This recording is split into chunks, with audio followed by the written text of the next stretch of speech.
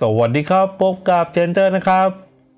วันนี้นะครับผมจะมารีวิวบอส CEO ในร่าง hyper นะครับสลับเป็น hyper ปุ๊บ ตีบวก 19 เลยนะครับ สะสมมาแบบฟรีๆนะ ตามที่บอกครับว่าเสียดายมากนะครับ เดือนที่แล้วหอคอยเนี่ยทะลึ่งไปเล่นวันสุดท้ายครับ เซิร์ฟเปิดช้า เซิร์ฟเน่านะครับ แล้วก็เล่นไม่ทันนะอ่าไม่งั้นตัวนี้ก็จะ max ครับแล้วก็จะได้ทำคลิป battle ฉบับเต็มนะกับเจมม่วงนะครับเอาวันนี้ก็จะเป็นการ ตีกันนะ แบบ mini battle สนุกสนุกนะ เป็นศึกตีบวก 19 ครับ ฝั่งเจมม่วงก็ตีบวก 19 รอเรียบร้อยแล้วนะครับมาดูกันที่ status นิดนึงนะครับบอส CEO นะครับเป็นสายไหวพริบธาตุแสงนะครับมีพลังเวทโจมตีนะครับตัวนี้เนี่ย max นี่จะเป็น 1.73 ล้านนะครับอ่าอันนี้ก็ 1.69 อีกนิดเดียวนะ ถือว่าสูงนะครับแต่ว่าไม่มี damage skill นะครับในส่วนของพลังชีวิตนะครับ 5.55 ล้านอะตัวนี้แม็กซ์เนี่ยจะ 5.6 ก็อีกนิดเดียวเท่านั้นนะ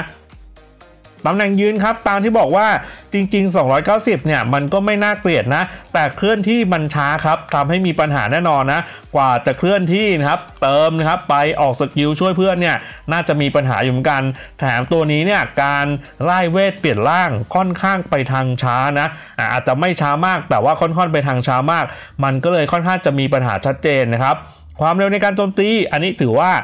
ค่อนข้างดีนะครับอ่ากูดาวเรนเจอร์นะครับ hyper 12 วินะครับ ของผมก็เกือบเกือบจะเหลือ 6 วิแล้วนะ เพราะว่า max นี่จะ 6 วินะครับใส่เกียร์นะครับอ่าลด cooldown ranger ไปนิดนึงนะครับ ให้มันปล่อยตัวได้ไวๆสักนิดนึงนะครับอ่าแร่ธาตุนะครับใช้อยู่พันห้ากับอีก 10อ่าเดือนนี้ก็มี buff ลดแร่เฉพาะเดือน 30 เปอร์นะครับ1510หัก9%นะครับ อ่าแล้วก็ไปหักอีก 30%ไม่หักรวมนะหักรวมมันจะลดเยอะไปนะครับ ก็จะเหลือประมาณ 961 เพราะว่าผมไม่ได้ใส่เกียร์รถแร่นะ ถ้าใส่เกียร์รถแร่ให้เอาค่าสัมบัติ 9%ไปบวกกับค่าเกียร์รถแร่ทั้งหมดนะครับอ่าแล้วก็แยกหักกับบัฟรถแร่เฉพาะเดือน 30เปอร์นะอ่าอันนี้ช่วงหลังๆนี่จะสอนเยอะเพราะว่าคนถามเยอะครับ เพราะว่าตัวตัวเกมมีการปรับนะครับการคำนวณลดแร่นิดนึงนะคือถ้าเกิดใส่เกียร์ลดแร่เนี่ยแร่จะลดเยอะกว่าปกตินะครับ อ่าถ้างั้นเนี่ยใส่เกียร์ลดแร่จะดีกว่านะ แต่ผมไม่มีเกียร์นะครับ โอเค ในส่วนของ skill หนึ่งนะ คือตัวนี้อย่างที่บอกครับว่าร่าง 8 ดาวธรรมดาก็ใช้งานได้เลยนะครับ เนื่องจากว่า skill ที่ต้องการอยู่ใน skill หนึ่งครับก็กลายเป็นเรื่องที่อาจจะไม่ดีอยู่เหมือนกัน เพราะว่ามันล็อกสเปคเลยนะครับว่าเปลี่ยนสภาพฝั่งศัตรูเนี่ยแค่ 7 วินาที ไม่ว่าจะปั้น max อะไรก็ตามนะครับใช้ร่างไหนก็ตามก็ 7 วินาทีครับไม่เหมือนเจมม่วงนะอะ skill เขาเนี่ยอยู่ใน skill 2ครับแล้วระยะเวลา skill เนี่ยเป็นเลเวลคูณ 0.05 นะครับ ฉะนั้นเนี่ยถ้าใช้เจมม่วงเวล140 จะติด 7 วิ อ่าเหมือนกันนะ แต่พอเวลเพิ่มขึ้นมาอะอย่างวันนี้นะครับ235 ก็จะเป็น 11.75 วินะครับถ้า max นี่จะเป็น 12 วิ ฉะนั้นเจมม่วงเนี่ยจะเปลี่ยนร่างได้นานกว่านะอันนี้ถือว่าเป็นข้อเสียนิดหนึ่งนะครับของบอส CEO นะครับ ส่วน skill 2ครับ เป็น skill ที่ buff หน้าป้อมอ่าใช้ skill แม่นยำ skill แล้วก็ความเร็วในการโจมตี น่าจะก๊อปปี้กันมาเลยนะ ถ้าจะไม่ผิดนี่เหมือนกันเป๊ะเลยนะครับ ก็มีใช้ skill แม่นยำ skill แล้วก็ตีเร็วนะครับ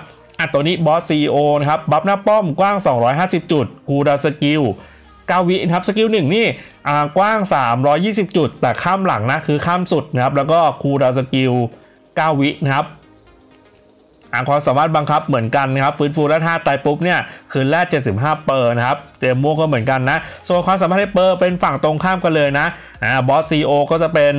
ตัวหนืดครับ ส่วนฝั่งของเจมม่วงจะเป็นแร่หนืดนะครับ คอมโบตาม top ตำนานตอนนี้นะครับเขาใช้ทางตัวหนืดกันอยู่ไม่ได้ buff นะ แต่ว่าพอมี ranger ตัวใหม่ๆที่โหดขึ้นมานะครับคอมโบมันก็จะเสริมความโหดมากขึ้นนะครับ ฉะนั้นเนี่ยบน top top เนี่ยส่วนใหญ่จะเบียดเจมม่วงหลุดไปหมดแล้วนะ แต่ก็ไม่ได้หมายความว่าเจมม่วงจะกระจอกนะ เจมม่วงก็ยังโหดอยู่นะครับ แต่ว่าคอมโบทางนี้มันมานะครับ อ่าการใส่เกียร์บอกแล้วนะครับว่าถ้าสลับเป็น hyper เนี่ยอยากให้ใช้ชิ้นนี้ ถ้าไม่มีเกียร์ดีนะ มีเกียร์ฟรีก็ชิ้นนี้เลยนะครับ เพราะว่าต้องการลด cooldown ranger อ่ามันจะได้ปล่อยตัวไวนะ ช่องกลางเกียร์ป้องกันดีสุดอะไม่มีก็ชุดซันต้าคิดว่าน่าจะพอมีกันนะ แล้วก็กระเป๋าออก skill ครับคืออย่างน้อยๆเนี่ยให้มันหลบ skill เยอะๆสักนิดนึงอ่าก็จะดีนะครับ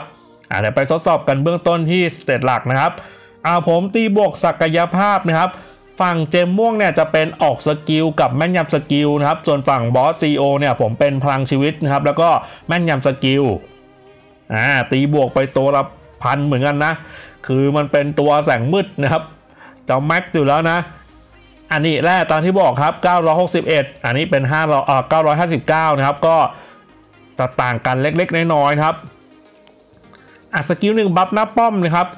เอฟเฟกก็ขึ้นช้านะส่วน skill เปลี่ยนร่างเนี่ยดูนะครับว่ามันต้องปิ๊งนะครับแล้วก็เส้นเลือดขึ้นสมองนะครับแล้วก็แห่ออกมา คือมันช้าอะมันเครื่องเอกสารนะ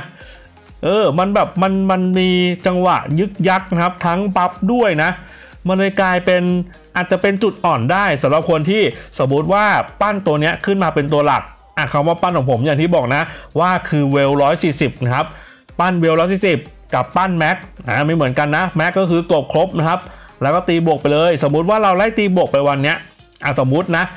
คนที่แบบว่าอะไล่ตีบวกไปตีละ 1 ตัว 2 ตัวนะครับ ปรากฏว่าอีก 20 ตัว เราอาจจะใช้เวลาปีหนึ่งอะถึงเวลานั้นปีหนึ่งเกิดเราเปิดได้ตัวใหม่ที่โหดกว่าแบบนี้นะ เราจะเสียได้นะครับฉะนั้นเนี่ยการจะปั้นไปเรื่อยๆเนี่ยเราต้องเห็นอนาคตก่อนว่าเฮ้ยตัวเนี้ยมันจะแม็กในระยะเวลาเท่าไหร่ มันจะมีตัวใหม่มาทับทางกันไหม อ่าถ้าเกิดแบบใกล้จะแม็กเต็มที่แล้ว อันนี้ตีบวกไปเลยครับ เพราะว่ามันใกล้แล้วไงอ่าในกรณีที่เป็นตัวเก่งนะครับอ่าดูนะครับการเปลี่ยนร่างนะครับ ก็แน่นอนนะ ปล่อยตัวไวกว่านะครับ คือพวกเนี้ยผมจะบอกว่าค่าแฝงต่างๆ เนี่ยมันจะอยู่ในร่าง hyper การตีบวกก็ด้วยนะ ผมต้องบอกแบบนี้ครับว่ายิ่งตีบวกเยอะนะครับ ranger นะครับจะมีค่าแฝงสูงขึ้นนะ อันนี้เป็นข้อมูลเชิงลึกเลยนะครับ ฉะนั้นเนี่ยเวลร้อยสิบมันก็อาจจะไม่ได้โหดมากนักนะครับ คือใช้ได้แหละ แต่ว่าถ้าสลับเป็น hyper หรือตีบวกเยอะๆเนี่ย มันจะเก่งขึ้นกว่าเดิมนะครับอันอย่างตัวเนี้ยคือง่าย ๆ เลย มันได้ skill นะครับ ก็ buff แม่นยำอะไรขึ้นมานะอะมาถึง การทดสอบสนุกสนุกแล้วนะครับ อาจจะตีกันสักสองสารอบนะ ถ้าจบไวนะครับ โอเค ไปลุยกันครับ เกียร์ก็จะคล้ายๆกันนะอ่าฝั่งของไอดีลักเนี่ยเจมม่วงเนี่ยจะใช้กันเป็นเกียร์ 7 ดาวนะครับอะผมกดออโต้เลยนะครับ เพื่อที่จะให้อ่าขีปนาวุธนะครับมันรัวใส่กันเลยนะครับอะเดี๋ยวเราดูจังหวะการเปลี่ยนร่างนะครับ เจมม่วงจะได้เปรียบแน่ๆนะครับ เพราะว่าเจมม่วงเนี่ยเวล 235 นะครับ เปลี่ยนร่าง 11.75 วิ ก็จะเปลี่ยนนานนิดนึงอัตฝั่งเรามีเพื่อนออกมาช่วยเล็กน้อยนะครับ อะดูนะครับถ้าจะเป็นธาตุที่ชนะกันเองครับอ่าแสงเจอมืดมืดเจอแสงครับ ก็เป็น damage 3เท่านะครับมีเจสสิก้าแสงมาร่วมด้วยนะอะผมจะตี3รอบนะ เราไม่ได้หวังผลอะไรมากมายครับ ให้ดูแล้วก็พิจารณากันเอาเองนะอ่าอย่างที่บอกว่า combo แต่ละทีไม่เหมือนกันครับ ปั้นขึ้นมาชอบตัวไหนใช้ตัวนั้นครับ คืออย่างไอดีหลักผมเนี่ยจริง ๆ ผมก็อยาก ได้บอสนะครับ CEO แล้วก็อยากจะปั้น max เหมือนกัน เพราะว่าอยากจะ combo กับบราวน์มายากลแล้วก็โคนี่อาม่าเพราะว่าของผม max นะที่ไอดีหลักนะครับ แต่ว่าเราทำเพื่อคนดูเลยนะเอออยากจะ battle ให้ดูนะครับว่าคู่นี้มันมีความต่างกันยังไงนะครับ อะรอบที่ 1 ผ่านไปมีเจสสิก้าเข้ามาช่วยนะครับ มันก็เลย buff อมตะนะก็เลยกลายเป็นได้เปรียบนะครับอะเดี๋ยวตีกัน 3 รอบนะ เดี๋ยวตีกันอีก 2 รอบที่เหลือนะครับ เดี๋ยวให้ดูเกียร์ก่อนนิดนึงนะครับอะอีกฝั่งนี้เป็นบวก 19 เหมือนกันนะ เดี๋ยวจบคลิปนี้ปุ๊บนะครับโอ้โหเวลผมก็ L19 นะเดี๋ยวจบคลิปนี้ปุ๊บนะครับตัวนี้ก็จะ max นะครับที่ไอดีหลักอันนี้เกียร์ก็ประมาณนี้อ่า ก็เน้นนะครับไปที่หลบ skill นะ คือเราหวังผลแล้วว่าพอหวังผลปุ๊บก็ต้องใส่เกียร์ดีๆ ให้มันนิดนึง แต่ผมมันดีสุดได้เท่านี้เออเท่านี้ก็คือเท่านี้นะอะไปต่อครับอีก 2 รอบนะครับ หวังว่าจะไม่มี ranger ออกมาช่วยนะ อยู่ที่ ID3 ก็คงอาจจะไม่เยอะมากนักนะครับ ดูเอานะครับ ranger เมื่อออกมานานแล้วนะครับ ในเรื่องของความแม่นยำ skill นะครับ ก็จะมีการปรับเล็กๆน้อยๆนะ แต่เจมส์ม่วงเป็นตัวที่ดูแล้วมันก็เหมือนเดิมอะ มันก็ยังแม่นทุกท่านนะ เป็นตัวที่ยังค่อนข้างจะเกรียนนะครับอ่าพอไม่มีเจสสิก้าแสง buff อมตะนะครับ ก็ยืนไม่ได้ อันนี้เห็นเห็นเลยนะ ชัดเจนนะ เมื่อกี้พอมีเจสสิก้าแสงเนี่ยมาช่วยนะครับอ่าทั้งอมตะนะครับ แล้วก็ฮิวเลือดใช่ไหม อ่า ranger ก็จะยืนได้นานขึ้น เมื่อยืนได้นานขึ้นติดความสามารถติด skill ได้ดีขึ้นนะ เมื่อหายไปโดนเจมส์ครับแชทแชทแชทแชทเลยครับนี่แล้วพอเปลี่ยนร่างปุ๊บเนี่ยนานกว่านะอะตีคร่าวๆครับ 7 วิเจอ 12 วิเนี่ยมันนานต่างกันแน่นอนนะ โอ้แล้วดูเหมือนฝั่งของบอสนะครับ คือมันต้องเล่นเป็นทีมไงอย่างที่บอกว่าบางตัวเนี่ย ranger เนี่ยมันช่วยตัวเองยากนิดนึง ต้องต้องพึ่งเพื่อนนะบอส CEO เป็นหนึ่งในนั้นนะเนื่องจากว่าเคลื่อนที่ค่อนข้างจะช้านะครับไล่เวทก็ช้านะครับอาแต่ผมไม่เสียใจอยู่แล้วนะ ทีมเราเนี่ยเมื่อเล่นเป็นทีมนะครับก็แข็งแกร่งอย่างแน่นอนนะอ่าส่วน combo แร่หนืดนะครับจริงๆเนี่ยทั้งแร่หนืดตัวหนืดก็อย่างที่บอกแหละว่าตลอดกาลครับก่อนหน้านี้ผมก็บอกแล้วแหละว่าตัวหนืดเนี่ยถ้ามันจะกลับมาอีกอ่าบน top ตำนานเนี่ยต้องมีตัวใหม่ที่ดีๆออกมา นะครับเขาก็จะใช้ combo นะครับอ่าเพื่อที่จะมาตามเทรนด์แหละเออเทรนด์ช่วงไหนมานะครับ ก็เปลี่ยนไปตามนั้นโอ้โหปรากฏว่า ก็สู้กันเหนื่อยอยู่เหมือนกันนะอ้าวรอบที่สองครับ คือสู้ตัวต่อตัวเนี่ยเจมม่วงเนี่ยมันได้เปรียบนะ จริง ๆ นะเออตอนเวลร้อยที่สิบไปดูคลิปก่อนก็ได้นะโอ้แต่ว่ามันเป็นร่างธรรมดาเจอไฮเปอร์นะครับ คือกี้เกียจทำหลายคลิปนะ อ่าเดี๋ยวแม็กชนแม็กมาเจอกันอีกทีนึง โอเค ลองตีกันรอบสุดท้ายครับ ก็อย่างที่บอกนะ เจมม่วงเนี่ยยืนก็ไกลกว่านะครับ เคลื่อนที่ก็ไวกว่านะครับอ่าเปลี่ยนร่างก็นานกว่านะครับ ก็ตีไปเลยนะ 12 วินะครับ เพราะว่าจะ max อยู่แล้วนะอ่าในขณะที่บอส CEO เนี่ยเปลี่ยนร่างไปตามจังหวะนะครับ อ่าตีบวกศักยภาพก็แม่นยำ skill ไปเลยนะ เพราะว่า ranger เป็นทางป่วนนะครับ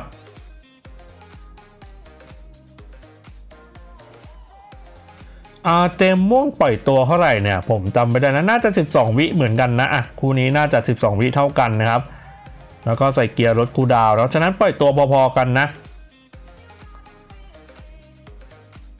เนี่ยแต่เจมม่วงมันก็ไม่ได้แข็งแกร่งนะครับ โดนขีปนาวุธก็ตายนะ อะรอบสุดท้าย ให้วิเคราะห์วิจารณ์กันเอาเองนะ เราไม่ได้ซีเรียสนะครับ เพราะว่ามันตีกันหนึ่งต่อหนึ่งแบบที่ไม่มีตัวขวางนะครับเนี่ยตัวของบอสเนี่ยมันอาจจะมีปัญหาสักนิดหนึ่งนะครับเนี่ยคือออกมากว่าจะขัดนะครับ กว่าเอฟเฟกจะขึ้นนะครับ กว่าจะออก skill เนี่ยเจมม่วงไปไหนต่อไหนแล้วนะ คือเจมม่วงเนี่ยมันเปลี่ยนร่างไวมากนะครับเนี่ยมันตีทั้งตีธรรมดาทั้งออก skill เนี่ย เคลื่อนที่ก็ไวนะครับ มันเลยกลายเป็นตัวที่โหดครับอ่า top หลุดก็จริงอะเจมม่วงชนะแล้วล่ะอะเดี๋ยวเล่นกันเป็นทีมดูนะครับว่ามันจะเจ๋งแค่ไหนเอาผมมีการปรับทีมอยู่เหมือนกันนะ คือเอาตัวแซลลี่หน้าไม้ออกนะครับ แล้วก็ใช้แซลลี่เด็กอนุบาลมา combo ตัวหนืดอะฉะนั้นทีมนี้นะผมจะมีตัวหนืด4 ตัวแล้วนะ เป็นเจสสิก้าแสงนะครับบอส CEO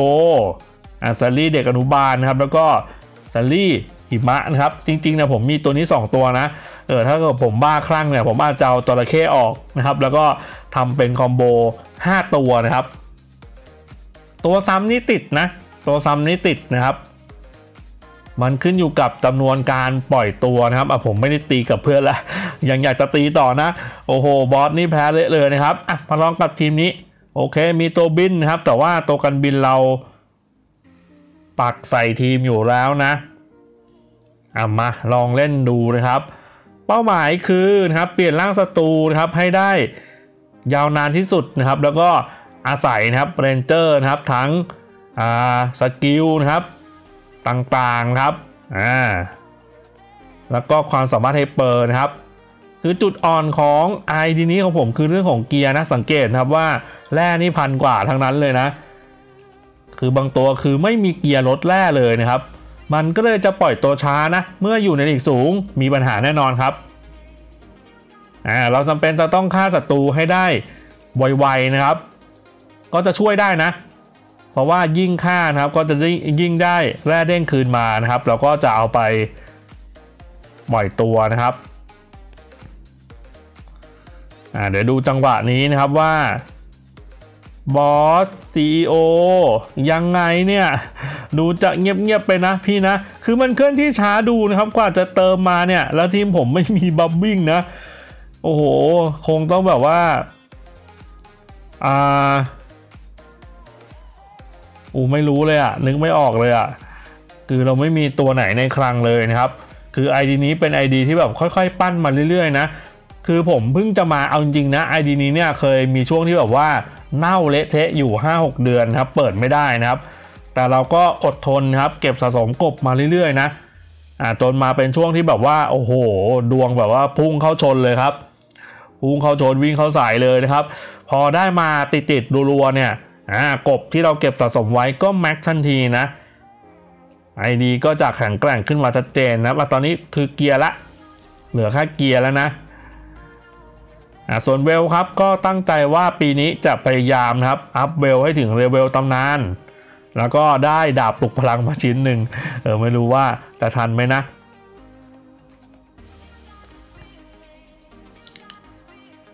จังหวะการเปลี่ยนร่างเป็นยังไงอะก็ติดไปตามจังหวะติดตามรอบติดตามทีมนะ เจอเรนเจอร์นะครับที่พวกเก่าๆหน่อยนะครับ พลังป้องกันค่าแฝงไปเยอะนะครับ ก็โดนเปลี่ยนร่างกัน ง่าย ๆ แน่นอนนะครับอ่าแล้วก็เจอแบบตัวโหดๆเกียร์โหดๆหน่อยเนี่ยก็ติดไปตามจังหวะนะครับ สังเกตว่าผมว่าเต็มม่วงมันก็ดูพลึบพลับกว่านะ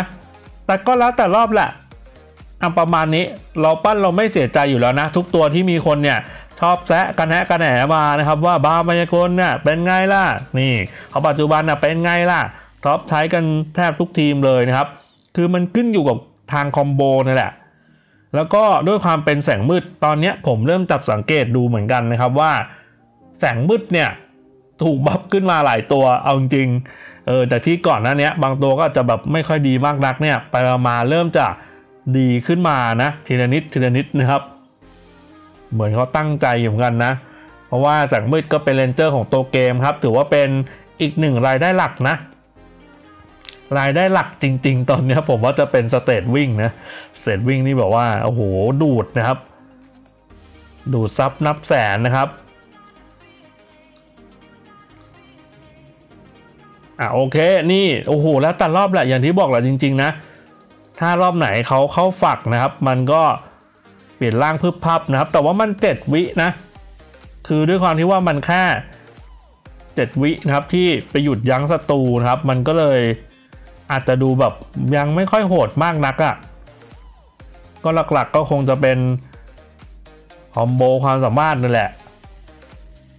เพราะว่าตัวหนืดมันก็ค่อนข้างจะ โหดนะครับอะบินน่าจะโดนยิงง่ายๆ ครับ เดี๋ยวมาดูข้างล่างกัน โอ้โห นี่ไง โอ้โห พอระบนปุ๊บเนี่ย พี่กายิงสนั่นเลยครับ ลั่นทุ่งกันเลยทีเดียว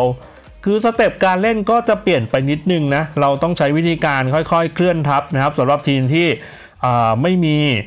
ตัวบ๊อบวิ่งหรือว่าเรนเจอร์ตัววิ่งไวๆเนี่ยมันมีน้อยนะครับ ต้องใช้วิธีการค่อยๆ เคลื่อนทับไปนะครับ ก็จะเล่นแบบแถวๆหน้าป้อมตัวเองอะจะให้อยู่ประมาณสัก 1 ใน 3 ของแผนที่อะตำแหน่งนี้จะเป็นตำแหน่งที่ดีที่สุดนะครับ คือจะไม่โดนบี้ขยี้หน้าป้อมเยอะจนเกินไปนะ โอ้โห ทีมนี้ โหดเลยครับ อะสลับฝั่ง2ตัวนะครับ ไม่เล่นดีกว่านะอะทีมนี้น่าจะพอได้อยู่นะครับ อะ มาดูกันครับ ทีมเราก็ไม่ธรรมดาปัญหาคือเกียร์นี่แหละ เราปล่อยตัวไม่ทันนะ ถ้ามันมีจังหวะที่แบบว่า อ่าฆ่าศัตรูไม่ได้ครับ เจอทีมที่แบบว่าโหตึงๆนะครับ เราจะปล่อยตัวไม่ได้นะ ยิ่งเจอทีมแร่หนืดนะครับ อันนี้ยิ่งหนักเลยนะครับ